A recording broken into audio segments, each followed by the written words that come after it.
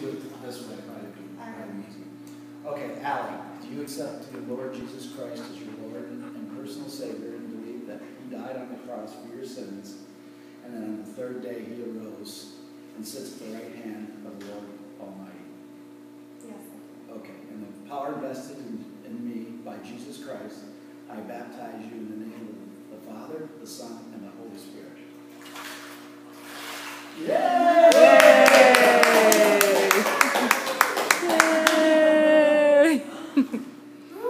Now, a supernatural transaction has taken place that cannot be revoked. You have Jesus Christ in you for the rest of your life. And always coming.